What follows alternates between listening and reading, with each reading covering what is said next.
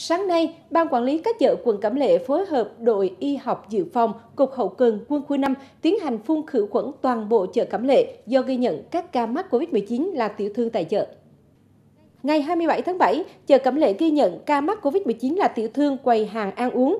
Qua xét nghiệm sàng lọc, đến nay đã có thêm 5 ca mắc liên quan trong chuỗi lây nhiễm này. Nhận định diễn biến dịch bệnh sẽ phức tạp nếu không có biện pháp can thiệp kịp thời. Ban quản lý các chợ quận Cẩm Lệ đã cho tạm dừng hoạt động chợ Cẩm Lệ ngay trong sáng ngày 27 tháng 7 và triển khai xét nghiệm tất cả các tiểu thương tại chợ. Sáng nay, đơn vị phối hợp đội y học dự phòng Cục Hậu cần Quân khu 5 tiến hành phun khử khuẩn toàn bộ khu vực bên trong chợ ở tất cả các quầy hàng cũng như khu vực lân cận bên ngoài.